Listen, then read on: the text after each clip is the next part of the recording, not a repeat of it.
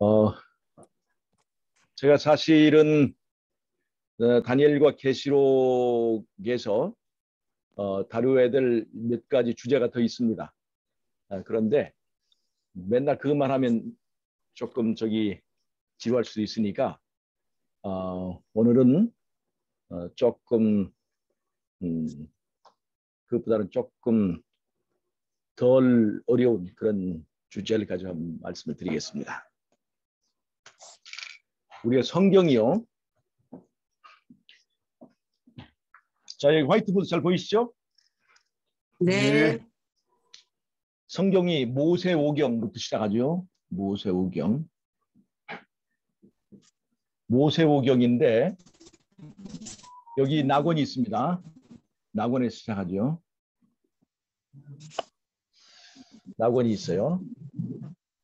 그러다가 여기서 애굽으로 가서 애굽의 종사 애굽을 갔다가 여기서 출애굽을 하게 됩니다. 출애굽을 하게 돼요. 출애굽을 하고 거기서 홍해를 건넙니다. 홍해.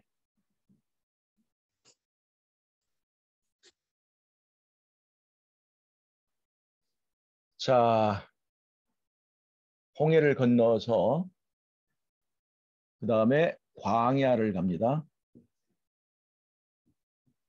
광야.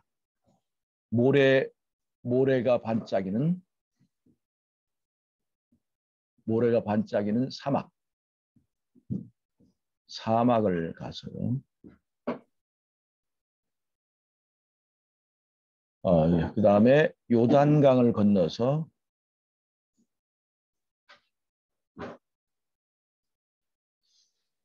아. 자, 요단강을 건너서요. 요단강을 건너서 그 다음에 바로 있는 것이 가나안 전쟁입니다. 가나안 전쟁. 가나안 전쟁. 자, 여기까지 모세 오경이었고 가나안 전쟁 이것이 사사기. 어, 여호수아와 여호수아 그다음에 사사기 그다음에 가나안 전제 아 사사기는 아니네요. 가나안 전쟁이 있고 그 다음에 있는 것이 이제 사사기인데 자 가나안 전쟁은 여호수아죠. 그 다음에 사사기입니다. 사사기 사사기는 사사기죠. 사사기 시대. 사사 시대. 이 사사기는 어, 비조직화된 상태, 조직화되지 않은 상태, 비조직화된 상태입니다. 비조직화된 이스라엘 이스라엘 상태입니다. 그 다음에 그 다음에 비조직화된 상태에서 조직화된 안정된 이스라엘의 왕권 조직화된 상태. 안정된 안정된 그리고 조직화된 시대. 이것이 안정되고 조직화된 시대가 이것이 어 열왕기 상하 역대 상하 이 부분이고요. 이 부분이고 그 다음에 이, 이 중간에 비조직화된 상태에서 조직화된 상태로 어, 전환, 전환되기 전에 여기에 과도기적인 중간 단계 있습니다. 과도기적 중간 단계. 이것이 뭐냐면 마지막 사사에서 마지막 사사 사무엘에서 이스라엘의 왕 다윗으로 이어지는 중간 사울 사울 시대의 이야기가 있습니다. 사무엘에서 다윗으로 이어지는 시대가 있어요. 그것이 바로 사무엘 상하입니다. 사무엘 상하. 이렇게 이스라엘 역사가 이루어집니다. 낙원이 있고 출애굽을 해서 그 다음에 모래가 반짝이는 사막을 건너고 그 다음에 요단강을 건너면 이제 가나안 땅에 이르러서 가나안 전쟁을 치른 다음에 그 다음에 사사기 시대가 있어요. 비조직화된 상태입니다. 그 다음에 조직화되고 안정화된 시대로 접어드는데 그것은 다윗 왕권의 성립입니다. 그래서 마지막 사사 사무엘에서 왕권 완정된 왕권을 상징하는 다윗으로 이어지기까지의 그 과도기적 과정을 사무엘 상하가 보여줍니다. 그러면서 이 유랑기 상하 역대 상하 끝에 이스라엘이 바벨론의 포로로 잡혀가는 일이 있습니다. 그것이 뭐예요? 예루살렘을 바벨론이 에워싸는 사건입니다. 이렇게 해서 이제 이스라엘이 포로로 잡혀가는 이스라엘의 그 역사의 흐름을 우리가 볼 수가 있어요. 그런데 잘 보세요. 자, 여기 이, 이 흐름과 마지막 때의 사건을 한번 제가 연결해 보겠습니다. 마지막 때에 마지막 때에 예루살렘을 바벨론이 예언하는 사건이 있죠. 그것이 바로 일요일 혁명입니다. 이 시대 마지막 어, 때예요. 자, 근데 거기서 보면 그때까지 먼저 뭐가 있냐면 그, 그 시점이 먼저 이 재림교회 안정된 조직, 조직화되고 조직화된 이 재림교회 조직화된 그 시대가 있습니다. 그런데 이 조직화된 시대가 어 이제 일요일 협령이 내리게 되면 어떤 시대로 가냐면 비조직화된 재림교회로 건너가게 돼요. 그러니까 이스 우리 재림교회가 이제 마지막에 이제 일요일 협령이 내리고 하게 되면 안정된 그 이 조직화된 상태에서 비조직화된 상태로 이제 우리가 바꿔지게 됩니다. 그게 무슨 말이에요? 이제는 어 이제 일요일 협령이 내리고 어 일요일 협령이 내리고 어 이제 에, 짐승의 우상이 세워지고 이렇게 되면 더 이상 조직은 존재할 수 없게 됩니다. 교회의 기관이 일어날 수가 없어요. 그래서 이제 사사기 시대처럼 비조직화된 상태로 전환돼요. 마치 이스라엘의 사사 시대에는 왕도 없고 어, 특별하게 어떤 정해진 그 것이 없이 그때그때마다 하나님께서 성령으로 인도하시는 지도자가 그때그때마다 지역적으로 이렇게 나서 이스라엘을 잠시 잠시 하나님의 섭리에 따라서 지도한 것과 같은 그런 비조직화된 성령의 시대, 성령이 직접 다스리는 그런 시대가 어, 앞으로 우리에게 올 것인데 그렇게 네. 조직화된 상태에서 비조직화된 상태로 가기까지 약간 과도기적 상태를 거칩니다. 과도기적 상태. 이스라엘이 마지막 사사 사무엘에서 이스라엘의 왕권, 안정된 왕권을 상징하는 다윗에 이르기 그 사이에 사울이 있는 것처럼 이 재림교회도 하나의 과도기를 걷게 될 거예요. 중간 단계를 거치게 됩니다. 자, 그, 그 다음에요. 그 다음에 우리가 우리에게 남겨 있는 것은 뭐냐면 어, 아마겟돈 전쟁을 치릅니다. 여기는 아마겟돈 전쟁이에요. 이스라엘이 어, 가나안 전쟁을 치러했던 것처럼 어, 우리 이, 이 마지막 때 재림 교인들도 가나안 전쟁과 같은 아마겟돈 전쟁을 치러야 합니다. 아마겟돈 전쟁. 자, 아마겟돈 전쟁을 치르고요. 이스라엘은 요단강을 건너서 광야로부터 가나안 땅으로 건너가지만 어, 마지막 때 하나님의 백성은 예수님이 재림하심으로 이제 이 땅에서 출발하여 이 땅에서 출발하여 승천하게 됩니다. 그런데 그런데 바로 하늘에 가시는 게 아니라 일주일 정도 일주일 정도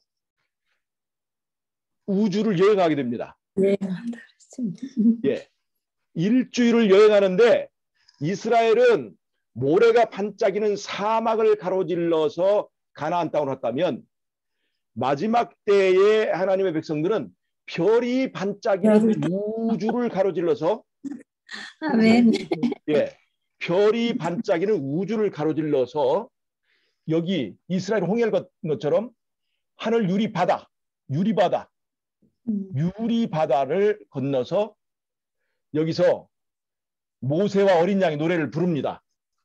출애굽에 아. 그들이 홍해를 건너서 모세의 노래를 부른 것처럼 이제는 유리 바다를 건너서 모세와 어린 양의 노래 즉 계시록 15장의 노래를 부르게 됩니다. 그리고 도착한 것은 회복된 낙원입니다. 자, 재미있게 짝이 좀 맞아 들어가죠? 네. 네. 이게 재밌죠? 자, 보세요. 재밌습니다. 이스라엘이 광야를 거쳐 갈 때는 이스라엘을 황해, 환영해 준 나라가 하나도 없었습니다. 광야에 살던 아말렉 족속도 에돔 족속도 모압도 암몬도 히위 족속도 이스라엘을 이스라엘을 환영해 주는 족속이 하나도 없었습니다. 그런데 아마겟돈 전쟁을 치르고 승리하여서 하늘 우주 별이 반짝이는 이 하늘 우주 광야를 지날 때는 왜 일주일이 걸리냐면요. 하나님 예수님이 하나님이 우리를 당장에 바로 데려갈 수 있는데 왜 일주일이 걸린 줄 아십니까? 일주일이 걸릴까요? 엿새가 걸릴까요? 하여튼 저기 일주일이 걸린다고 그랬어요. 일주일이 걸린다고 그랬어요. 그러니까 엿새 동안 가가지고 마지막에 이제 유리바다에서 마지막 하루를 지내는 것이 안식일인지 어떻든 간에 그 네. 기간이 단 순간에 갈 수 있는데 그 한 일주 정도 건, 걸린다 이 말이에요. 네. 여러분 이게 왜 일주가 있는 줄 아세요? 이 땅에서 죄에 유혹받고 탄압받고 그렇게 예수님 이 섬기고 예수님께서 인도하시는 길을 가려고 할 때마다 세상 사람들이 짓밟고 핍박하고 적기 쏘가 죽이려고 하던 그럼에도 불구하고 나는 공산당이 싫어요. 나는 죄가 싫어요. 나는 이 세상보다 우리 주님과 함께 사는 것이 좋아요. 하고 아멘. 어떤 사람은 목이 잘려 죽기도 하고 어떤 사람은 배고파 죽기도 하고 어떤 사람은 죽기보다 더한 고난과 고통을 이기고 짐승과 우상에게 절하지 아니하고 승리한 이 사람들을 환영하려고 우주에 수많은 그 별들이 있는데 하늘 오리온자까지 갈 때마다 우주의 큰 대표적인 별들의 주민들이 그 이 죄 가운데 승리하고 이, 이 하늘로 가는 이 구원받은 사람들을 환영하고 그들을 대접하기 위해서 그 별나라 대표들이 프랭카드를 걸고 별들마다 이제 기다리고 있습니다. 그 별들의 아, 최고의 진상품, 그 별나라에만 있는 그들의 생명과를 이 가지고 이제 그 온 우주의 거민들이 나와서 이제 이 구원받은 하나님의 백성들이 나올 때마다 박수 치면서 음. 정말로 정말로 수고했습니다. 우리는 정말 당신들을 볼 때 이 하나님의 통치가 정당하고 정말로 너무나 음. 아름답다는 것을 깨닫게 되었습니다. 음. 환영합니다. 아멘. 여러분 잘 오셨습니다. 환영합니다. 음. 하고 우주의 거민들이 환영하는 거예요. 그래서 음. 그 별들, 별들의 그 중요한 별들을 다 거치는 겁니다. 거기, 거기 수많은 별들이 있는데 스케줄상 다 갈 수는 없고 스케줄상 다 갈 수는 없고 시간을 쪼개서 그때는 이제 순간 이동이 가능하니까요.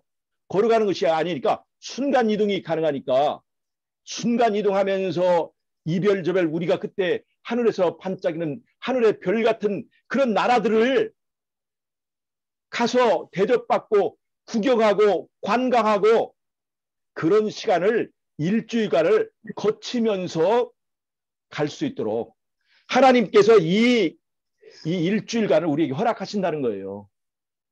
여러분 대단하지 않습니까? 아멘. 이 별이 반짝이는 우주를 가로질러서 우리가 하나님의 보좌까지 여행하는 것을 한번 생각해 보세요. 제가 지난번에 말씀드렸죠. 한순간에 모든 것을 창조할 수 있는 하나님께서 왜 엿새 동안이라고 하는 기간을 통해 창조하셨는가? 그것을 통해서 하나님의 놀라운 말씀의 능력을 입증해 보이기 위해서 체험해 볼 수 있도록 그런 기간을 마련했다고 말씀드렸죠. 그런데 네. 성경에는 나와 있지 않지만 예언의 시내는 우리가 일주일간 우주를 여행한다고 그랬어요. 일주일간.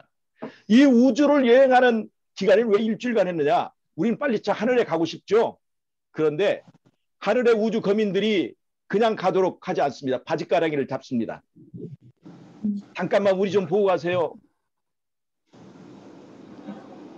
하늘에 별나리들 많지만 그냥 큰 도시만 큰 별들만 우리가 가는데도 그게 시간이 걸려요. 여러분 그런 여행에 우리가 참여한다는 게 얼마나 큰 특권일지 얼마나 좋겠습니까? 그 우주를 그냥 여행, 여행하는 기한이 6일이 아니라 가서 중간에 서서 그, 그 별에서 흐르고 있는 생명수를 마시고 그 별에서만 나오는 생명과를 먹고 그들의 따뜻한 환영과 그리고 틈틈이 우리가 가서 하나님께서 우리를 어떻게 구원하시는지에 대해서 간증하고 또 그들과 함께 교제하는 시간을 가질 텐데 그때에 그 우주 거민들이 찾는 것은 이 땅에 살 때 돈 많이 버는 사람을 찾는 것이 아닙니다. 이 땅에 살 때에 군대에 별을 많이 단 사람 그 사람을 찾는 사람 찾는 게 아닙니다. 이 땅에 있을 때 머리가 좋아가지고 이 땅에 과학을 많이 발전시킨 그 사람을 찾는 게 아닙니다. 왜냐하면 그 사람들의 IQ가 이미 5천 7천, 8천인 사람들이 IQ 150도 안 되는 사람들이 만든 이 장난감 같은 거 가지고 그 앞에서 자랑할 수가 없어요. 그 나라 갈 때마다 팔에 걸리는 것이 뭐냐 이게 봤더니 다이아몬드네. 이 땅에서는 다이아몬드 한 개만 가지 주먹만 하는 한 개 가지면 이 부자고 떼부자가 되고 백만장자 억만장자 되는데 아 이런 우주 거민 갈 때마다 발에 걸리는 게 다이아몬드인데 내가 돈 좀 이 땅에 있을 때 만졌다고 자랑할 내야 거기서는 아무도 그런 것 자랑으로 쳐주지 않습니다. 그럼 그 사람들이 정말로 이제 이 인기 있고 그런 사람 어떤 사람일까요? 아주 어려운 환경에 처했지만 그럼에도 불구하고 신앙을 포기하지 않고 예수님이 어디로 인도하든지 따라가는 그 경험 드라마틱한 그 음. 경험을 가지고 있는 사람. 여러분, 음. 우리가 이 유튜브 탈북한 사람들의 이야기가 인기입니다. 탈북한 사람들. 그런데 탈북한 사람도 편하게 탈북한 사람은요, 조회수가 없어요. 진짜 정말로 지옥의 맨 바닥까지 내려갔다가 간신히 극적으로 탈북한 사람들이 얘기 있죠? 그거는 사람들이 얼마나 인기가 있고 사람들이 찾는지 몰라요. 마지막 때 여러분 이 세상 살면서 편하게 살다 온 사람 이렇게 우주 여행하고 우주 이제 거민 앞에서 천년 동안 왕노로 제사장노로 할 때 편하게 살다가 온 사람 그 사람이 인기 있을까요?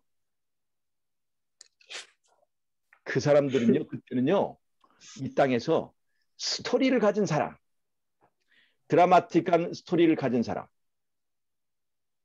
힘들 그런 환경에서도 포기하지 않고 이기고 승리한 그 사람들의 이야기가 최고로 인기 있을 거라고 하는 것입니다. 그리고 그리고 자기를 희생해서 다른 영혼들을 많이 구원한 선교 경험담이 그때는 최고로 어, 이제 손꼽히는 인기 있는 어, 그런 이야기가 될 것이라고 하는 것입니다. 여러분, 그러니 우리가 이 땅에서 돈 버는 일에 묶여야 되겠습니까? 박사 되는 일에 몰두해야 되겠습니까? 대통령 되는 일에 몰두해야 되겠습니까? 아니면 부동산 구입하는 데 몰두해야 되겠습니까? 아니면 비트코인에서 성공하는 것에 몰두해야 되겠습니까? 아니면 여자 꼬시고 남자 꼬시는 일에 몰두해야 되겠습니까? 잠시 있을 세상, 잠시 지나가면 없을 것을 위해서 우리의 시간을 다 쓰다가 어떻게 하나님 나라에 가고 우주 여행을 하는데 우주 거민들이 편하게 살다 온 나는 다 지나치고 정말로 힘들지만 그럼에도 불구하고 예수님과 사랑에 빠진 그 사랑의 러브 스토리를 가진 사람들을 찾겠습니까? 우주의 거민들이요. 나를 지나치고 그 사람들 찾을 때 우리가 얼마나 부끄럽겠습니까? 그래서 우리는 이 땅에서 바로 그런 스토리를 만드는 그 기간을 잘못된 데 쓰지 않아야 된다 하는 것을 제가 말씀드린 겁니다. 여러분, 자 보세요.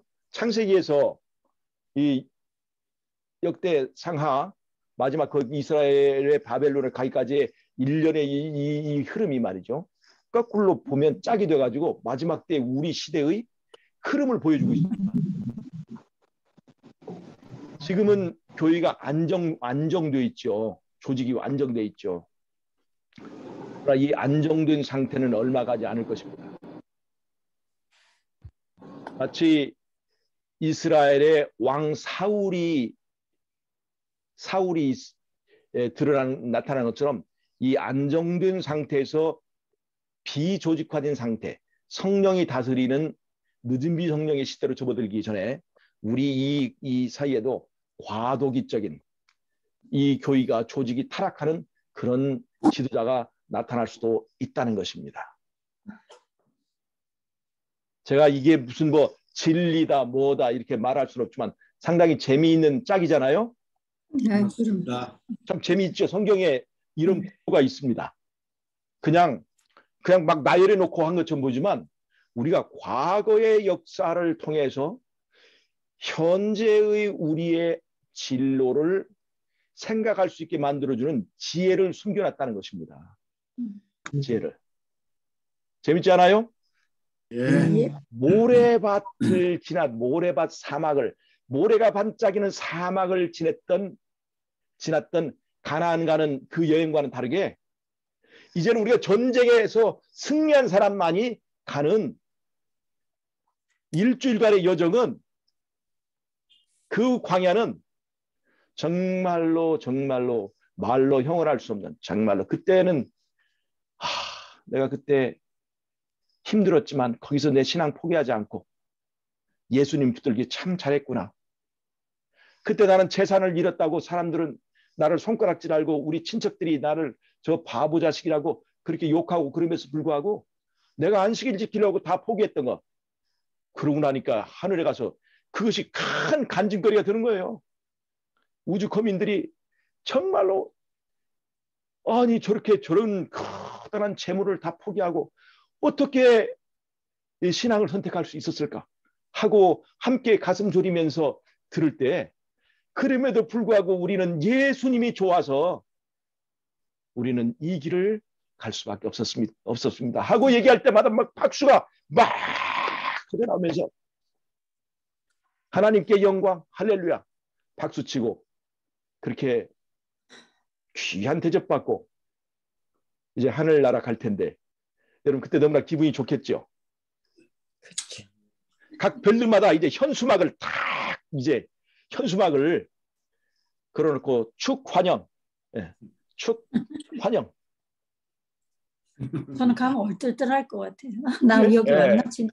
예, 그 그래서 만약 간다면 예, 그 과정을 우리가 생각하면서 이 땅에서 우리가 살 때 고난 당하고 시련 당하고 박탈 당하고 때로는 순교를 당할지라도 우리가 그것을 지금은 슬프고 지금은 아쉽고 하지만 박 뒤에 무릎을 치고 하나님 감사합니다. 저 순교 당하게 해주셔서 감사합니다 하고 무릎 칠 때가 있다는 겁니다. 지금은 순교 당하면 그냥 슬프고 끝장나고 하는 것처럼 보이죠. 근데 대반전 상황에 반전이 있어서 하나님 나라에 가니까 아이고 정말 나내 순, 그 순교 안 당했으면 할 말이 없을 뻔했 하는 그런 그런 것이 있어서 참 순교 당해 주셔서 감사합니다. 순교의 경험이 있기 때문에 야 하늘 같더니 붉은 태 둘린 옷을 입고 폼 재고 다니는 거예요. 붉은 태 둘린 옷을 입은 사람들이 순교당한 사람들이 하늘에서 그 붉은 태 둘린 옷을 입거든요. 갈 때마다 음. 천사들이 격리합니다. 그 천사 높은 천사 그뭐뭐 중대장 천사 대대장 천사 그런 천사들이 붉은 태 옷 입은 사람이 지나가면 전부 다 밀동 차려하고 격리하고 그렇게 지나갈 거예요. 예, 우주의 대표들이 예, 우주의 대표들이 이 붉은 태 입은 이 옷 입은 사람들 특별 호텔에 예, 이 터키에서 묵은 그 우리 우리 저기 우리 차장로님 묵은 호텔보다 더 좋은 특별 호텔에 예, 모시라고 그렇게 할 겁니다. 그리고 14만 4천 14만 4천은 사실은 당신들이 당신들만 살아있다고 볼때 우리는 하늘 우주 이 중계기를 통해서 다 바라보고 있었습니다. 다 생중계 되는 거 되고 있는 걸 당신들은 모르셨죠? 우리는 당신들이 싸우는 걸 다 보고 있었습니다. 그리고 당신들이 이렇게 오는 것을 기다리고 있었습니다. 하고 최고의 환대를 해줄 때 내가 예수님 믿기를 잘했구나. 어린 양이 어디로 가든지 따라가기로 선택한 것이 정말 잘했구나. 이 세상의 모든 걸 다 버리고도 내 젊음을 덕에 다 바친 것이 정말 잘했구나 하고 기뻐서 어, 이제 감격할 때가 올 것이라는 것입니다. 그러니까 잘 보세요. 앞으로 이제 성경을 보실 때 여호수아를 읽을 때는요.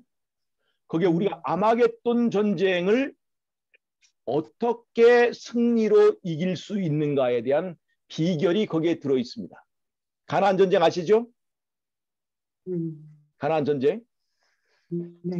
네. 예, 전쟁에서 승리하는 사람이 돼야 돼요. 믿음이라는 건요. 어, 이거 믿고 구원받았다 하는 그 사실을 인정하는 걸 끝나는 게 아니라 예수 믿고 전쟁에서 승리하는 것을 말합니다. 승리하는 것.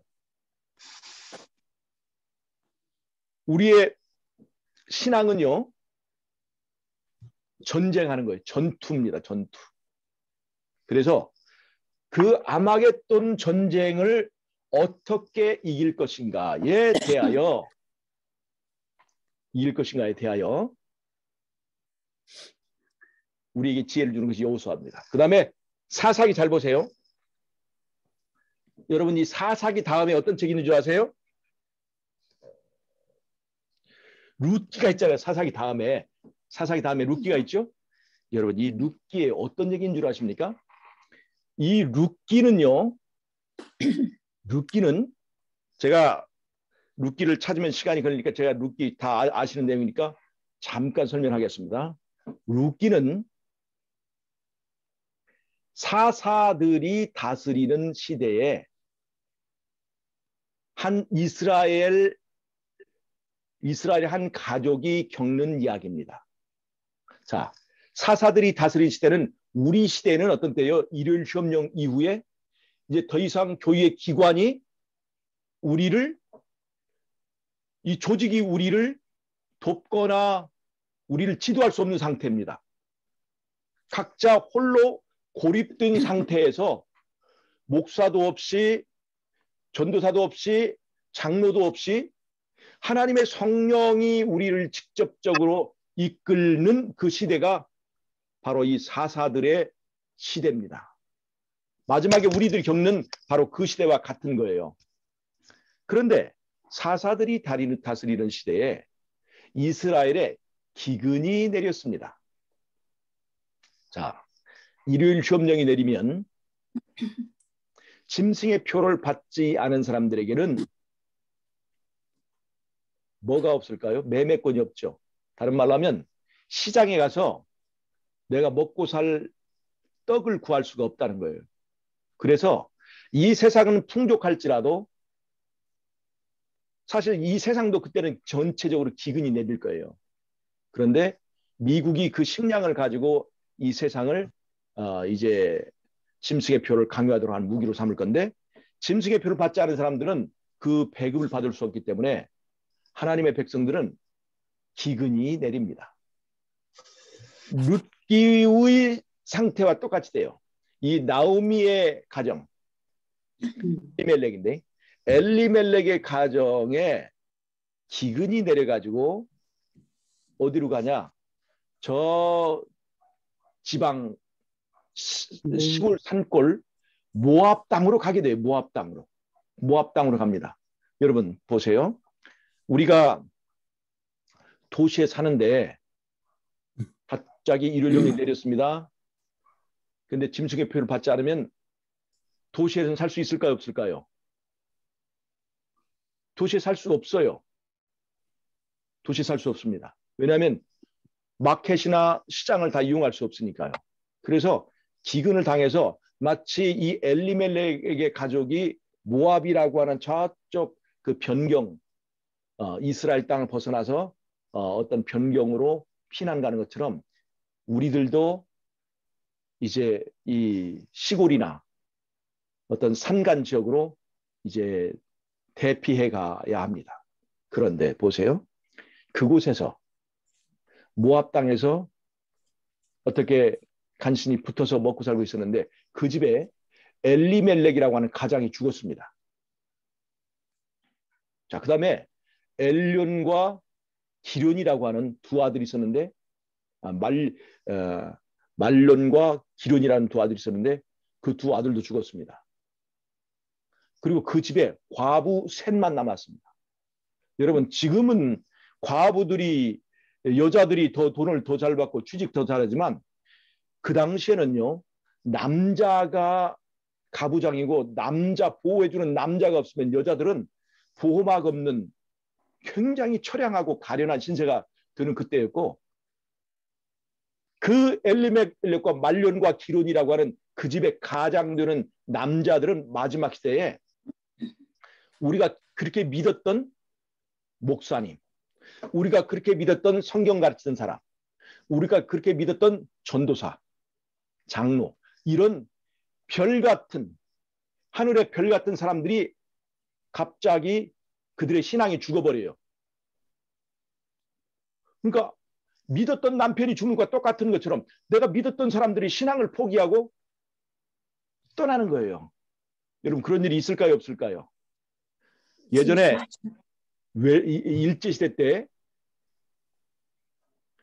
최태현 목사님을 고발한 사람들이 일제 고발한 사람들이 일본 헌병이 아니라 같은 동료 목사들이었다고 그래요.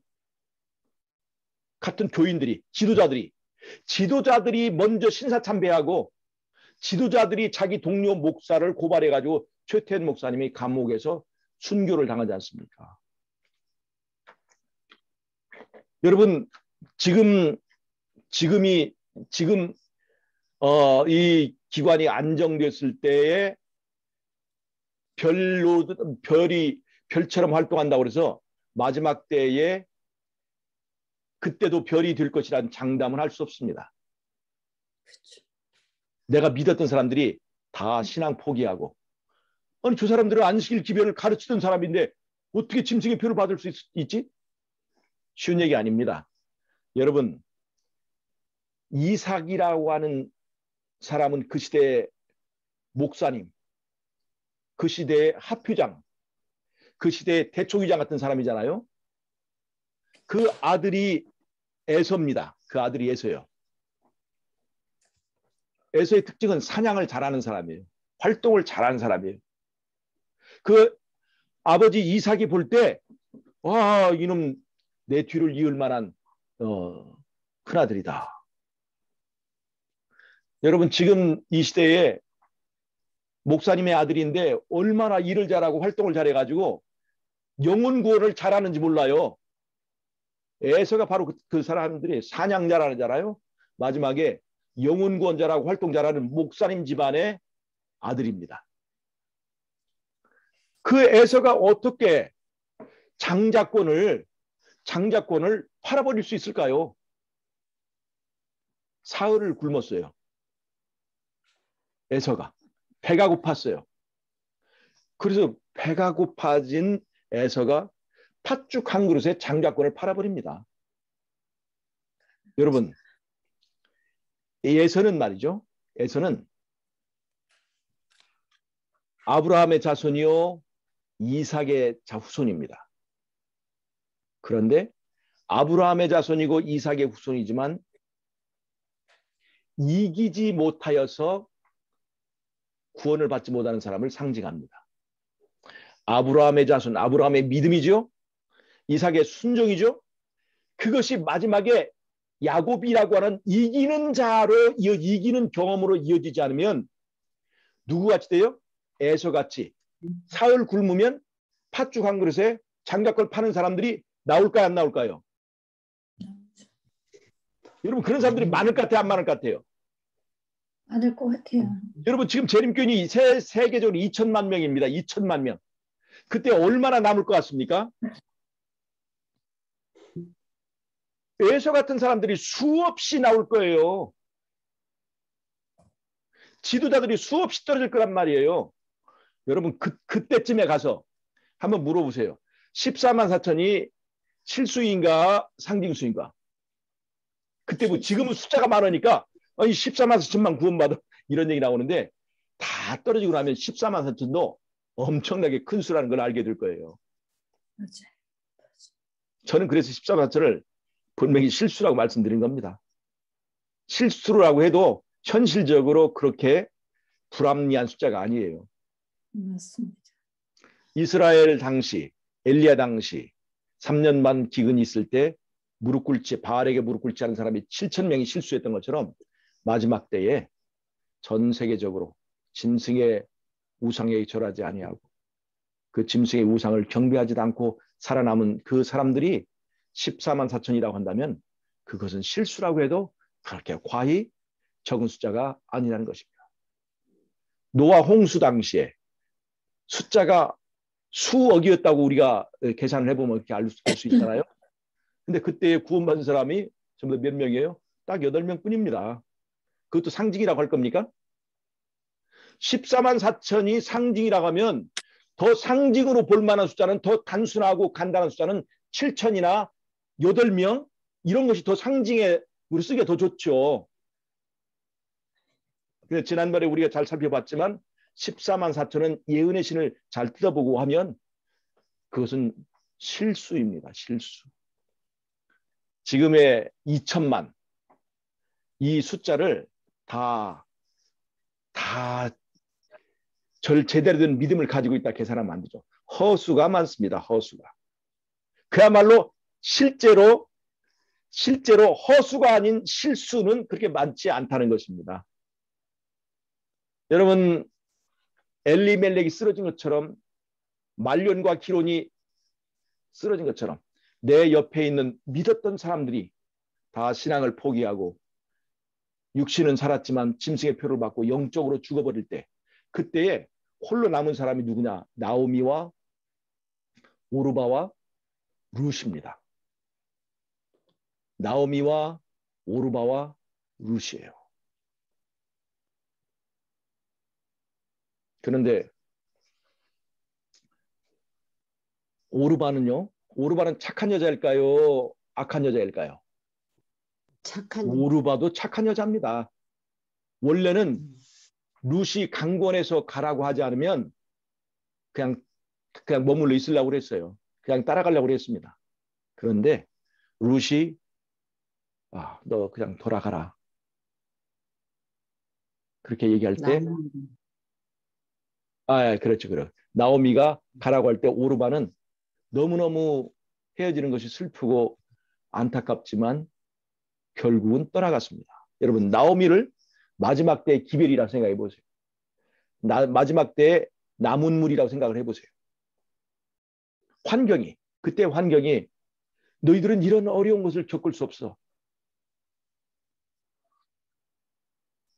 포기하는 것이 좋을 것 같은 그런 환경이 나오미의 소리와 같습니다. 그때 오르바는 오르바는 정말 있는 것이 좋지만 그냥 시어머니 말을 듣고 떠나갑니다. 모든 걸 다 알고 그냥 떠나가요.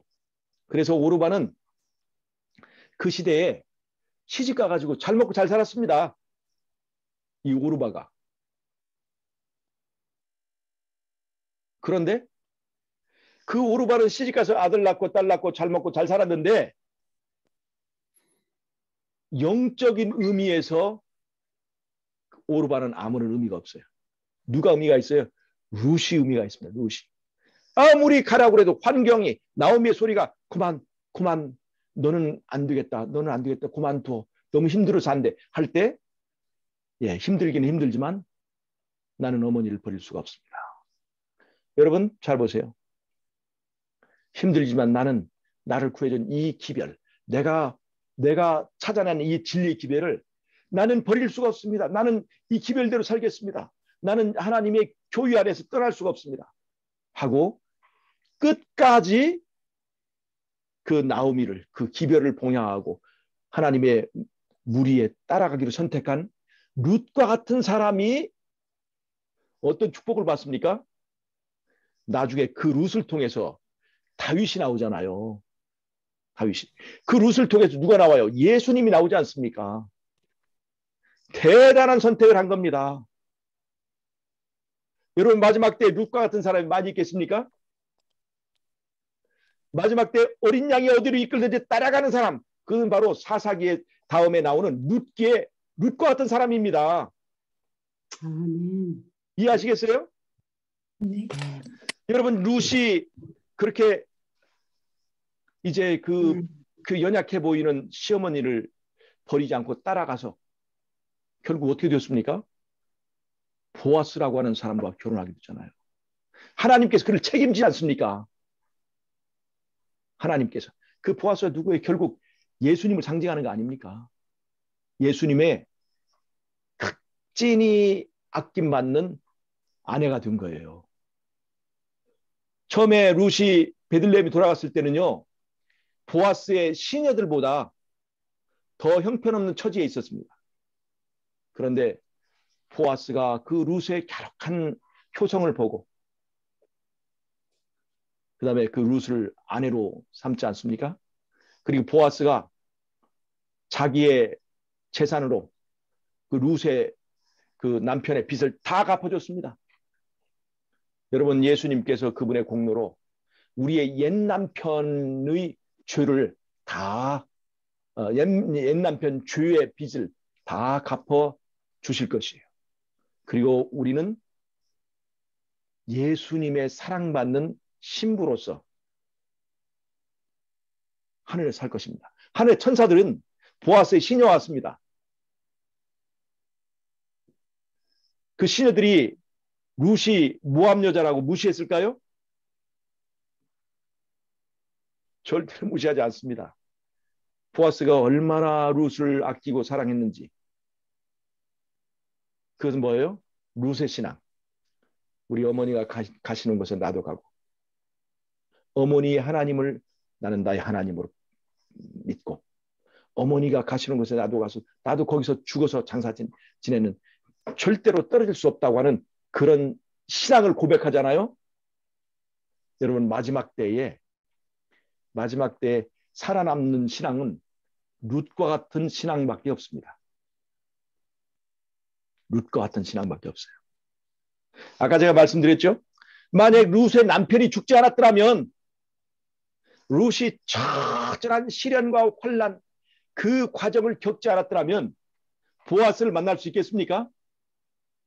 여러분 우리가 이 땅에 살 때에 정말로 예수 믿음 때문에 수많은 것을 잃어버리고 수많은 시련을 당하고 수많은 멸시를 당하고 수많은 조롱을 당하는 일이 없다면 어떻게 별이 반짝이는 광야를 지나면서 그 우주 거민들 앞에서 환영받을 일이 있겠습니까? 여러분 이런 이런 시대의 흐름을 우리가 안다면 우리는 예수 어 예수 믿기 때문에 당하는 시련과 환란을 감사해야 합니다. 시편 23편은 시편 23편은 많은 사람들이 즐겨 애송하는 그 시인데요. 우리는 시편 23편을 생각할, 생각할 때마다 푸른 초장과 쉴만한 물가를 그려봅니다. 여러분 시편 23편이 푸른 초장과 쉴만한 물가에서 뒹굴뒹굴 빈둥빈둥 거리기 때문에 그 시편 23편이 아, 름다운줄 아십니까? 사실 시편 23편의 지점은 어디냐? 사망의 음침한 골짜기입니다.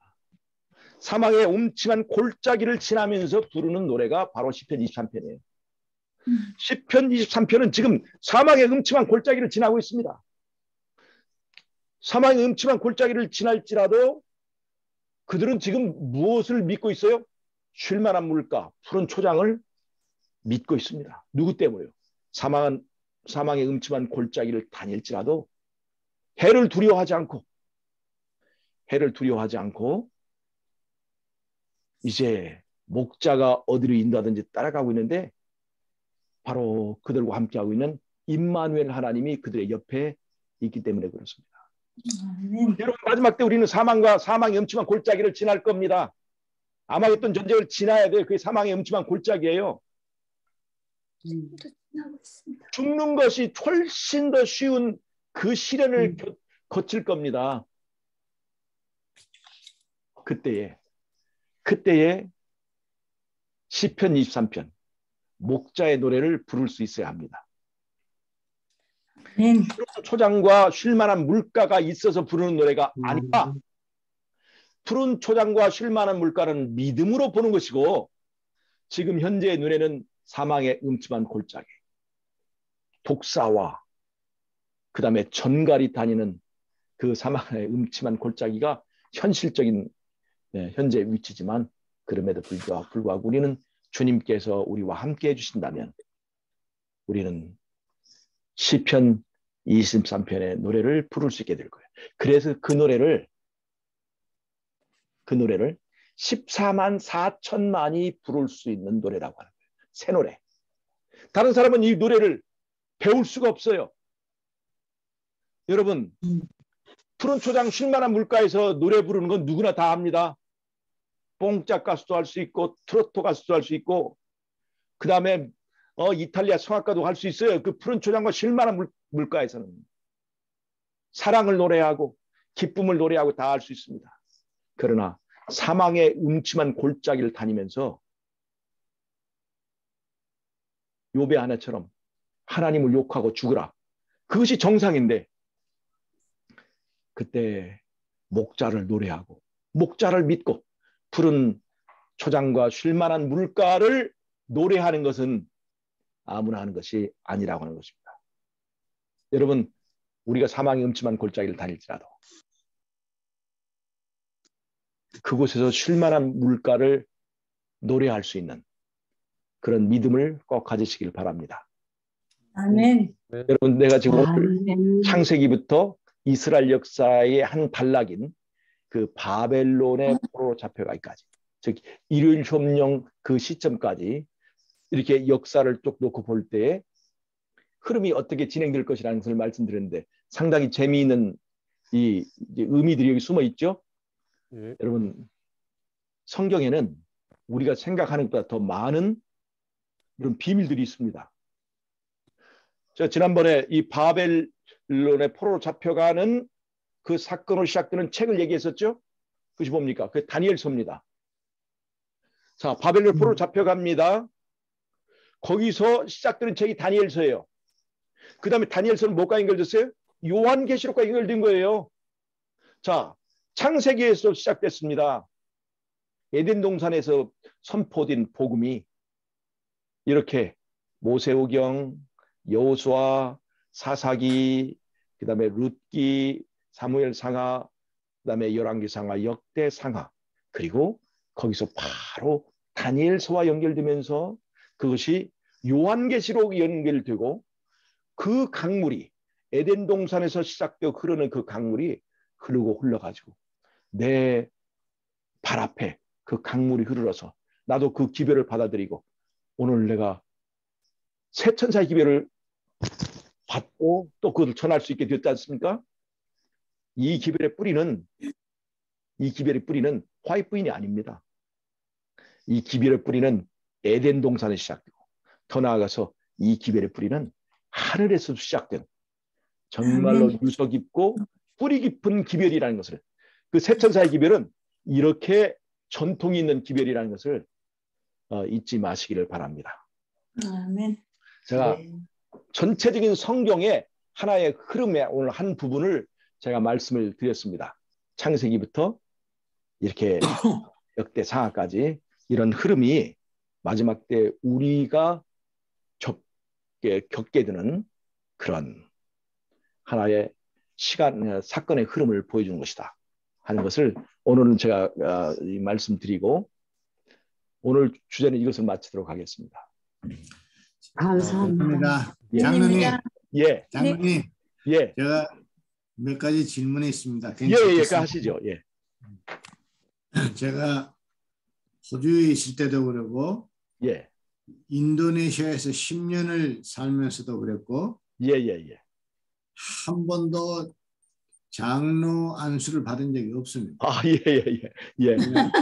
여전히 차집사고 아, 예, 예. 자격도 안 되는 사람이니까 아이고, 별 말씀 하십니다.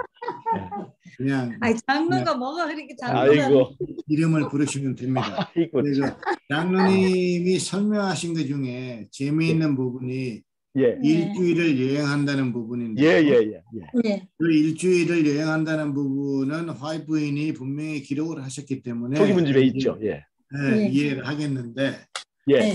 일주일 동안 여행하면서 각 예. 그 우주 거민들의 예, 예. 뭐 대표적인 그 거기를 방문한다는 건 너무나 아주 재미있는 해석이십니다. 예언의 시는 없고 제 아, 창작물입니다. 아, 예언의 시에는 없는 내용인데 그- 제가 그거를 풀이했어요. 장- 장로님이 이제 기도 중에 아니 예언의 신에 어디 어디에 이별 저별 가서 저기 아, 본다는 그거는, 아, 그거는 이제 에녹이, 에녹이 만난다고 타고, 그러지 않았어요? 예, 예, 그런 것은 있지만, 응. 어, 네. 우리가 여행하면서 그 한다는 것은 없어요. 제가 이거는 아니 근데 네. 하늘에 이 저기 네. 저기 그 별로 여행한다는 얘기 말씀이 있어요. 있어요, 있어요. 있어요. 아, 그 부분은 예, 그 별로 네. 여행 한다는 부분은 있는데요. 있고 네. 일주일간 여행한다는 내용도 있고 한데 예. 네. 예. 장로님이 설명하신 것처럼 각 예, 그 대표적인 그 별의 뭐 이런 부분은 장로님이 기도를 하시면서 깨달으신 예, 예. 그러니까 이건 뭐 꼭 안 믿으셔도 됩니다. 아, 아니 아니 안 믿고 참고만 하셔도 돼요. 아니 아니 안 믿고 믿고가 문제가 아니고 너, 예. 너무나 재밌는 예, 예. 설명이가지고 예, 아니 예. 근데 우주 우주 거민들이 환영한다 소리는 있어요. 아, 그 예. 부분도 있습니다. 그 예, 예. 있는데 장로님 설명하신 부분이 참으로 재미있으시고 예, 예, 예. 아, 이게 예. 뭐 이유가 합당한 거예요. 사실 예. 하나님의 예. 하나님의 능력이 예, 예. 전지전능하신 분이기 때문에 예. 네. 우리가 뭐 굳이 하늘 길이 멀긴 하지만 일주일을 여행할 필요는 없는 거거든요. 예. 그렇죠. 예, 근데 왜 굳이 일주일이라고 화이트분이 예. 이렇게 기록하셨을까? 예, 예, 예. 그리고 또 별 나라를 방문한다는 부분도 있고 예, 하니까 예, 예. 예. 장로님이 그 기도하시는 중에 예. 성경을 공부하시는 중에 그 발견한 그, 그 예. 아이디어가 너무나 합당한 아이디어. 예. 네. 너무 재밌는 거고 예. 처음 아 저는 오늘 시편 23편을 좀 다시 네. 그 봤어요. 저는 사람들이 시편 23편을 목자가 인도하는 데로 하는데 그렇게 평안하고 막 그렇게 보이지 않았거든요. 진짜로 음. 실마리 물- 물가를 예, 예. 찾는다 해서 그 예. 음침한 사막에 꼴짜기가 나오고 했었어. 근데 오늘 그 참 해석이 정말 마음에 닿습니다. 예, 제가 시편 23편을 많은 분들이 좋아하셔도 예, 저는, 저는 쉴만한 물가가 어떤 곳일까 맨날 그 쉴만한 물가가 어떤 곳일까 생각을 했는데 그 쉴만한 물가는 진짜 하늘 가야 우리가 쉴만한 물가가 같고 예. 우리가 그 음침한 골짜기를 지나면서 진짜 그러한 그 실마 물가는 응. 예수님의 어? 응. 예수님 안에 들어가면 모든 것이 실마 물가가 되는 거예요. 그 다음에요. 땅에서 이 땅에 어, 들어가면 어, 아, 할 수가 없어요. 우리 저 저 양반은 저렇게 저렇게 항상 편안하세요. 이, 이, 예, 예. 그 다음에 말씀하십시오. 예. 그 다음에 궁금한 거는 예. 장로님 설명 중에 14만 4천 원이 예. 실수일 수도 있다. 예, 예, 예. 아니. 실수라고 얘기하는. 아, 이렇게 실수다라고 말씀하시는데 예, 예. 바이브인은 분명히 기록하시기를 그 하늘나라로 들어갈 사람들이 예. 예. 100명 중에 한 명이 될까 말까 한다라고 그- 그렇죠. 예, 기록하신 예. 부분이 어, 있습니다. 그렇죠. 예, 예. 100명. 네, 그렇게 기록하신 분이 예, 있는데 예. 장로님이 설명하신 것처럼 14만 4천 원이 예. 그냥 상징적인 숫자가 아니고 예. 실수다라고 했다면은 예. 화이트보인이 그 예. 지금 현재 전 세계 인구가 예. 그 월드 오미타에 뒤져 보면은 79억으로 나옵니다. 예, 예, 예. 79억 명이 예. 있는 중에서 예. 화이트보인의 계산대로 예. 100분의 1이 예. 뭐 100분의 1 아니라도 혹시 예. 1000분의 1이 가더라도 예. 13만 점 넘을 것이다. 4천보다는 훨씬 넘어요. 그, 예, 예, 예. 그런데 예. 14만 아니 근데 4천 예. 그거는 그거는 아. 집사님 그거는 셀 수 없는 물이라는 숫자가 또 예. 있으니까 하는 얘기고 지난번에 네. 제가 14만 4천 하실 때 14만 4천 네. 강의할 때 이제 안 들으셔서 그런 건데요. 네. 네. 예. 그 제가 그때 이제 잘 설명을 했는데 우리가 음. 이제 14만 4천이 구원받는 숫자의 최대치가 아닙니다. 살아서 구원받는 그렇죠. 숫자라고 제가 기억. 그렇죠. 그런데 이제 예. 우리가 은혜 시기가 끝나기 전까지 예. 은혜 시기가 끝나기 전까지 14만 4천을 확실하게 이제 애들 실수로 한다면 그 당시에 믿고 나이 들어 죽는 사람도 있고 믿고 병들어 죽는 사람도 있고 그렇죠. 그다음에 믿고 교통사고로 죽는 사람도 있고 그렇죠. 믿고 순교당한 사람들이 있어요. 그래서 마지막 날 사건들 보면 많은 사람들이 순교를 당할 것이다. 그렇게 얘기했단 말이에요. 예, 예. 그러니까 은혜의 시기가 끝나기 전까지 구원받는 숫자로 말한다면 14만 4천 플러스 거기도 셀 수 없는 무리가 있습니다. 있다. 그러니까 그렇죠. 구원받는 숫자는 10 최소한 예를 들어서 14만 4천이 최대치가 되면 그 문제가 생겨요. 그렇지. 최대치. 근데 14만 4천이 실수가 된다면 이러한 어, 과정 이러한 것을 배경으로 보면 10 최소한 14만 4천은 구원받는다.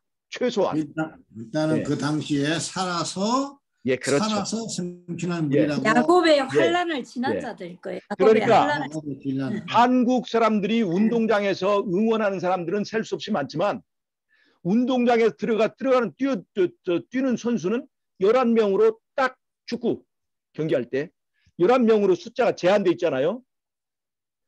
한국 사람과 일본 사람이 다 뛰어들어가서 뛰는 것이 아니라 그렇죠. 11명의 선수만 가는데 14만 4천은 바로 마지막 때에 아마겟돈 전쟁을 수행하는 숫자다 이 말이죠.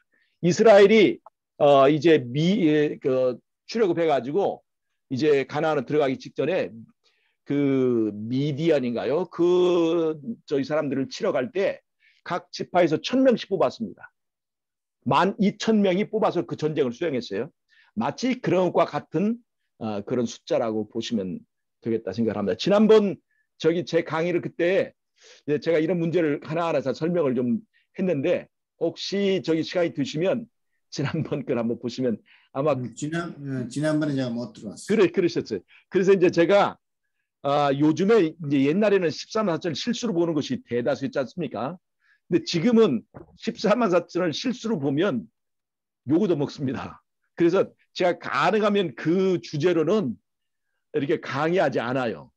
왜냐 14 14만 4천 명이라는 게 살아서 승천하는 그렇죠. 숫자라고 보면 큰 무리는 없을 거예요. 네, 그렇게 그렇게 저는 아, 보는 거죠. 잠깐만요. 내가 되게 재밌는 거 하나 해줄게요. 예예예. 14만 4천인을 지금 세계 나라 숫자로 하면 한 206개국이 된다고 그래요. 유엔 예, 예, 예. 정회원은 193개국이고 예. 그럼 오케이 14만 4천인을 206으로 나누면은 699개 그러니까 한 700명 정도 돼요. 한 나라당. 음, 예, 한 예. 나라당. 예. 자 그러면 한 나라당 우리 차 집사님 우리요 저기 여기 호주에 몇 개 주죠? 지금? 일곱 개 그걸로 나누죠? 예, 두개 예, 자치지구까지 두개 합쳐서 놀던 테라토리하고 예, 일곱 예, 개로 예. 나누죠? 예. 그러면은 우리 이 700명을 일곱 개로 나누면은 70명이란 말이에요. 아니 예. 77명입니까? 그 정도 된다면 70한 8명이나 되나? 그 정도 되죠 자, 예. 그래, 그래갖고 주마다 한 번씩 그러면 우리 여기 NSWG에 몇 명, 뭐 몇 명 이렇게 한번 해보면 우리 애드벤티스트 이렇게 숫자하고 대본 매치해 보면 참 재밌는 결과가 나와요. 엄청나게 적은 예. 숫자가 적은 숫자죠. 이 작은 숫자인데 문제가 뭐냐면 예, NSW만 해도 제가 알기로 이- 이 교회가 100개가 넘는 걸로 알고 있거든요. 예, 예. 예. 그럼 각 교회에 한 사람만 살아서 승천한다 해도 100명이 넘는데 이게 모자란다는 숫자예요. 이게 그러니까 참 뭐 예. 재밌는 자, 이거 보세요. 제가 좀 예. 말씀 좀 드릴게요. 네, 네. 자, 보세요. 어, 이 14만 4천 중에서 네. 제일 큰 지파가 어떤 지파인 줄 아십니까? 제일 큰 요- 지파요? 요셉 지파입니다. 요셉 지파. 네. 요셉 지파예요. 네. 이 요셉 지파는 요셉 지파로 한 지분이 들어가고 네. 문하세 지파로 또 한 지분이 들어가서 두 지분이 들어가요. 음. 자, 그럼 보세요. 네. 이 요셉의 경험은요, 이 재림교회의 경험과 굉장히 유사합니다. 그렇죠. 요셉은 뭐냐? 먼저 기별을 받은 사람입니다. 음. 먼저 기별을 받았어요. 그래서 이 기별을 통해서 7년 앞을 내다볼 수 있었어요. 7년 앞에 기근을. 이. 이 이러한 요셉의 역할, 그 다음에 요셉이 그 다음에 그 저기 애굽의 포로 저기 노예로 잡혀가서 노예 대접받고 음. 그래서 죄수 대접받고 이렇게 하는 경험을 하는 마지막 시대의 무리는 이 재림교인밖에 없어요. 재림교회. 맞죠. 그러니까 음. 이 요셉의 경험은 네. 재림교회를 대표하는데 네. 이, 이 문하세는요 요셉의 큰 아들입니다. 네. 먼저 큰 자지만 나중된 사람이에요. 무슨 말이냐면 재림교회 내에서 이 요셉의 경험과 환란을 겪으면서 그 하는 사람들은 요셉 지파에 되지만 그 다음에 이 재림교회가 이 재림교회가요 마지막에 이제 이제 일요일 협령이 나면 재림교회가 이제 해체되는 거예요. 그러면 재림 교회가 없는데 그 중에서 이제 그러면 바벨론과 똑같이 돼요. 바벨론과 똑같이 되었을 때 바벨론 입장에서 똑같이 나중에 기별을 듣고 나오는 무리가 이제 분화 문하세 같은 거예요. 음. 먼저 됐지만 나중된 자들. 그러면 재림교회가 두 지분을 갖잖아요. 두 지분. 음. 자 보세요. 재림교회가 예를 들어서 재림교회 전체가 100명이라고 해봐요. 근데 지분은 둘이죠. 근데 순복음교회가 얼마냐면 순복음교회는 예를 들어 순복음교회를 봐봐요. 순복음교회는 재림교회 100명이라면 순복음교회는 만입니다. 만. 아니죠. 근데 음. 지분이 하나예요. 지분이 하나. 그러면 음. 재림교회와 순복음교회와의 구원 확률을 보면요. 재림교회는 재림교회는요. 50분의 1입니다. 50분의 1. 그런데 순복음교회는 만분의 1이 만분의 1. 자, 왜 이렇게 말씀드리냐면 자, 보세요. 서울대학교가 들어가기 힘들잖아요. 네. 서울대학교 들어갔다고 해서 사법고시 다 어, 합격하는 것은 아닙니다. 그렇죠. 그런데 서울대학교에 들어가면 그 학교의 분위기, 그 학교의 정보, 그 학교의 여러 가지 이 그 그 이 교수 음, 방향이란 따라서 사법고시에서 서울고 서울대학 출신이 전체에서 한 예를 들어서 한, 한 거의 한 3분의 1, 한 4분의 1 차지해요. 전체 중에서 예를 들자면 네.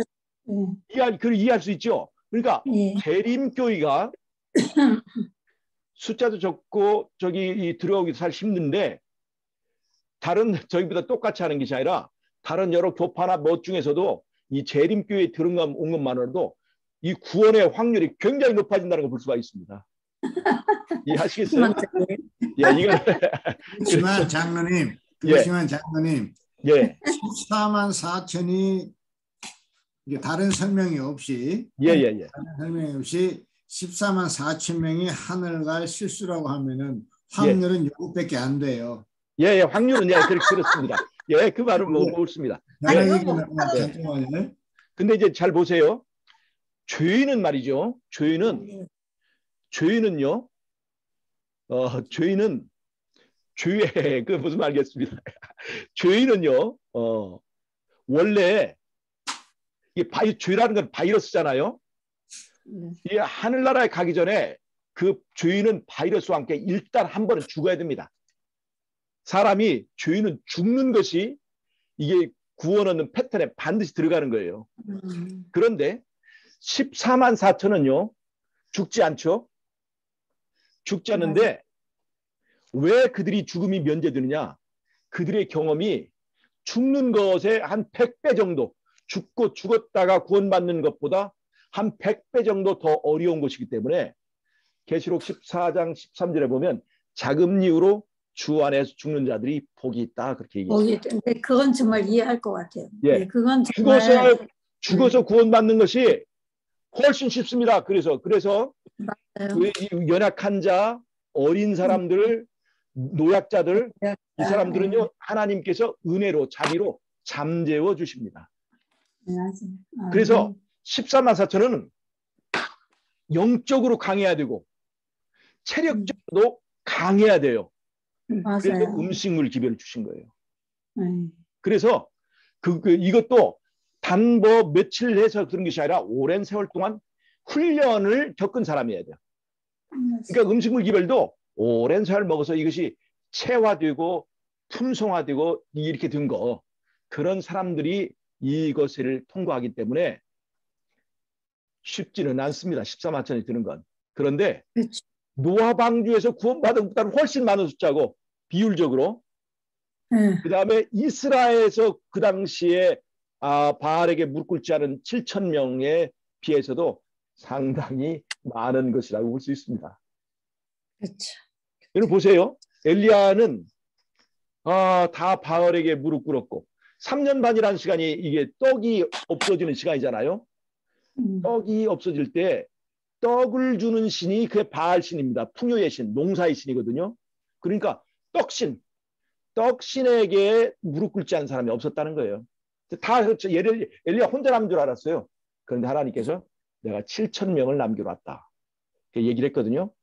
그러니까 그런 어, 이스라엘 당시의 이야기나 이런 걸 보면 마지막 때 14마서는 이런 전 세계적인 인구 분포 또 복음의 에, 이렇게 그 확장 이런 걸 통해서 상당히 어, 그런 것들에 비하면 적지 않은 숫자이다 하고 저는 이제 음. 말씀을 드립니다. 갔을 구원에 때 관한 문제가 아닙니다. 예, 말씀하세요. 예, 하늘에 갔을 때 예, 예, 그 살아서 승천한 14만 4천 명하고 예, 예, 예, 그렇지 못하고 일단 죽었다가 예, 예, 예. 하늘에서 살게 된 그 그, 이 하나님의 백성들하고 예, 예. 무슨 등급이 있을까요?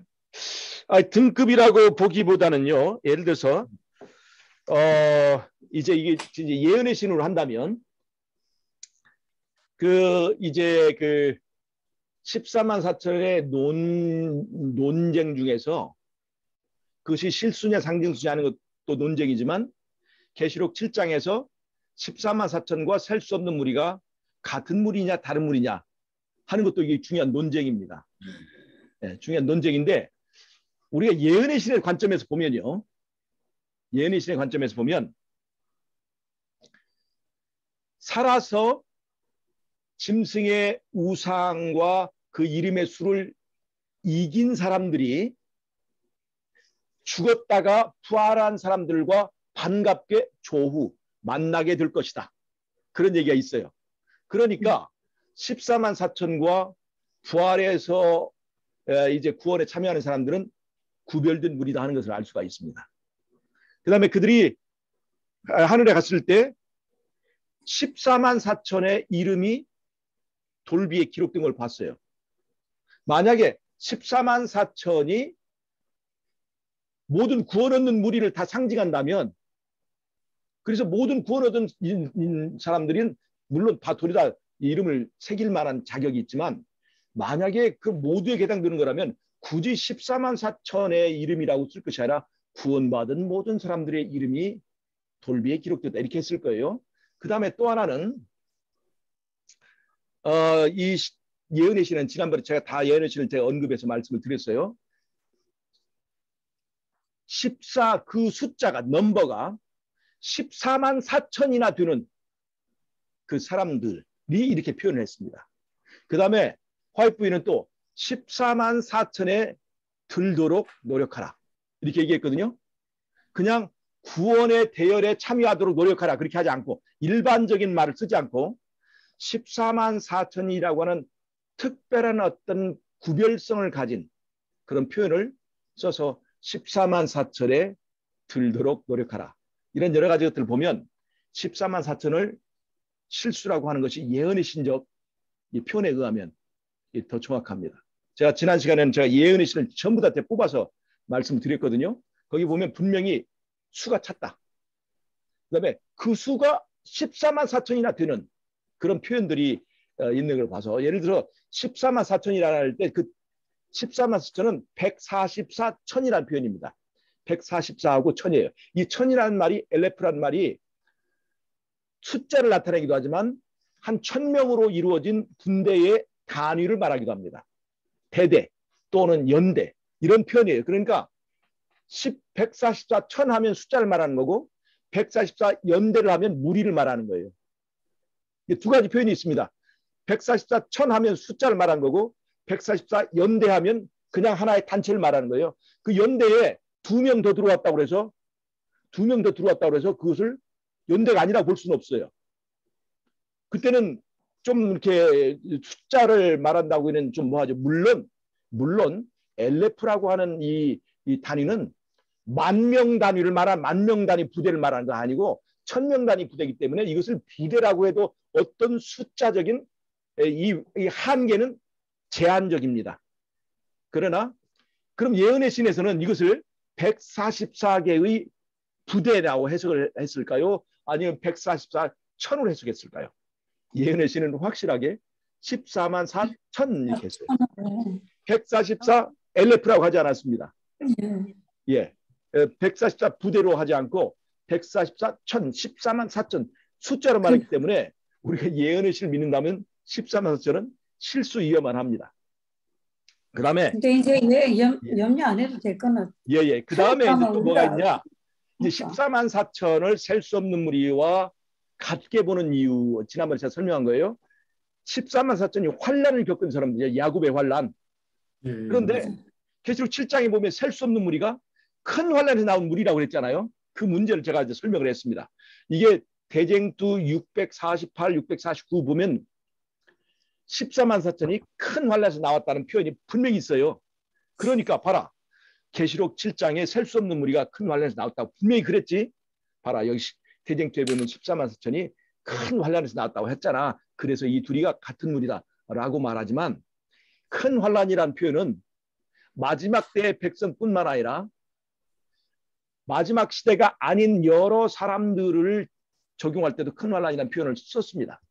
예를 들면 그것이 바로 두아디라 교회 계시록에서 계시록 2장에서 두아디라 교회에 보내는 권면에서 그 권면을 듣지 않는 사람들은 내가 그들을 큰 환란에 던질 것이요 그렇게 얘기했어요. 큰 환란.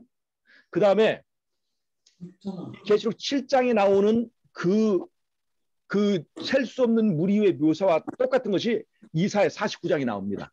이사의 49장 그대로 인용한 거예요. 이사의 49장을 인용한 것이 계시록 7장에 셀수 없는 무리입니다.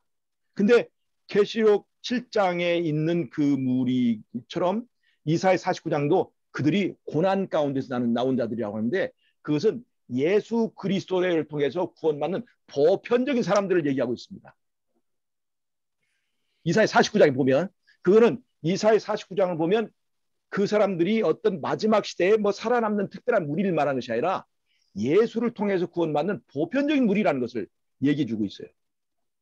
그래서 거기에 보면 이사야 49장을 계시록 7장에 인용했다 하는 걸 알 수가 있는데 그들도 고난에 나왔고 그는 분명히 보편적인 그 사람들이 하는 거죠. 그 다음에 마태복음 24장에도 마지막 때에 환란이 있을 것을 얘기했습니다. 그리고 그 환란 후에 즉시 해가 어두워지며 그렇게 얘기했거든요. 그러니까 암흑일이 언제 있었느냐? 암흑일이 1790년에 있었잖아요. 1790년. 그럼 그때 환란은 어떤 거냐? 먼저는 1260년간의 중세 암흑기입니다. 그걸 환란이라고 그랬어요. 그 환란 후에 즉시 해가 어두워지며. 근데 여기서 환란은 이 과거의 역사적인 환란뿐만 아니라 예수님 직전에 예수님 직전에 있는 야곱의 환란을 이중적으로 말하기도 합니다.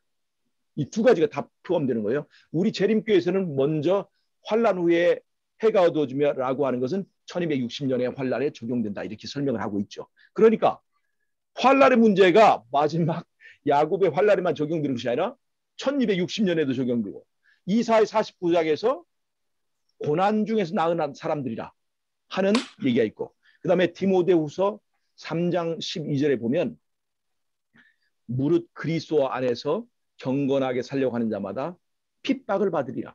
그러니까 환란이라는 것이 마지막 때의 사람들에게만 해당되는 것이 아니라 제대로 그리스도인의 삶을 살려고 하는 모든 사람에게 보편적으로 있는 현상일 수 있다고 하는 것입니다. 그것이 때에 따라서 어떤 때는 큰 환란이라는 표현을 해도 그것이 반드시 야곱의 환란은 아니다. 그래서 셀 수 없는 무리에 큰 환란이라는 표현이 있다 할지라도 그것이 14만 어, 4천의 환란을 말하는 것이다라고 말할 수 있는 근거는 없다. 제가 이렇게 말씀을 드립니다. 아멘. 예, 예, 예. 그래서 어, 지난번 시간에 그런 것들 제가 한번 맘먹고 예언이 씨도 뽑고 해서 제가 한번 말씀드렸거든요. 혹시 필요하시면 거기 유튜브에 있으니까 한번 찾아보시면 예, 알겠습니다. 예, 그런 내용이 있습니다. 아 그리고 저는 이 14만 4천 문제를 내놓으면 사람들이 어, 찬성하는 사람들이 많기 때문에 가능하면 이런 얘기 안 합니다. 그리고 제가 이걸 뭐 이걸 이거를 이것을 받아들여야만 이게 된다고 뭐 이것이 세상 뒤집을 것이라고 그렇게 주장하는 것도 아니고 그냥 하나의 견해로 받아들이셔도 됩니다.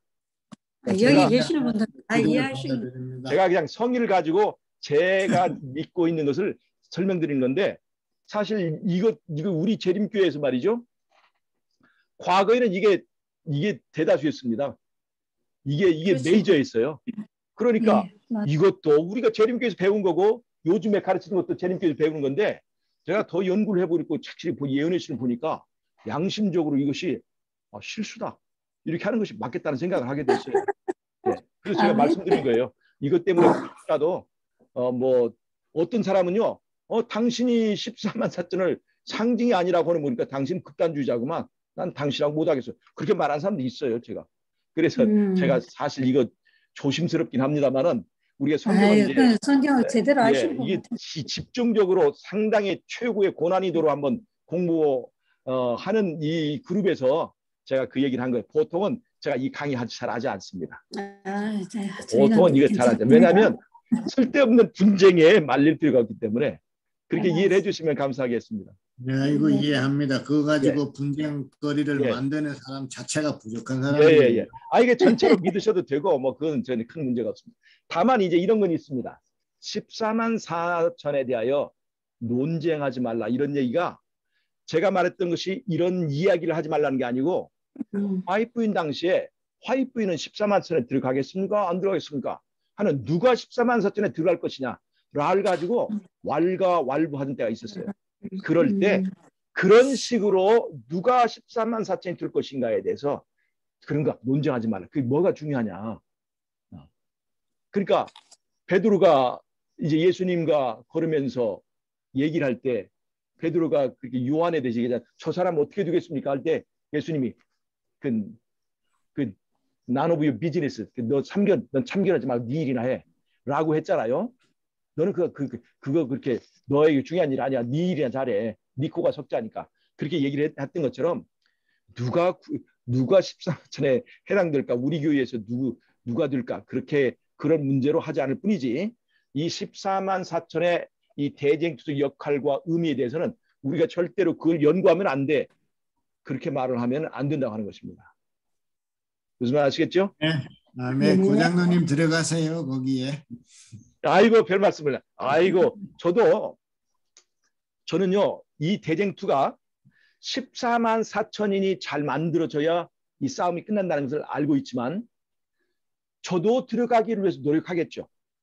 네, 물론 저도 합니다. 그러나 저는 제 자신이 들어갈 수 있으면 좋겠지만 제가 자격이 부족하다 할지라도 이 다른 후배들과 내가 이 기별을 전한 많은 사람들이 14만 4천이 준비되도록 독려하고 격려하고 그들의 역할을 잘 소개해 주는 것 이것이 저의 역할이지 저는 뭐 제가 14마트에 들어갈 사람이라고 자신할 수도 없고 그러나 제가 그렇게 누구 어 한 당신 들수 없겠어 그렇게 말할 수는 더군다나 없고요. 우리 모두가 함께 예언이신 말한 대로 그 14마트에 들기 위해서 노력하자. 네, 그렇게 말씀을 드리는 것입니다. 아멘. 예. 감사합니다. 예, 감사합니다. 집사님 12월 4일 전에 들어오세요. 왜요? 우리 12월 4일 날 저기 뭐냐 교회 오픈하는 날인데 12월 표권을 날 10월 4일 날 12월 4일이라고요? 예. 12월 4일 날 제가 도착하려면은 여기서 12월 1일 날 출발해. 아, 아. 1일 날이나 2일 아, 날 출발. 이번에 25일이나 26일 날 출발하신다 그랬더니 또 그렇게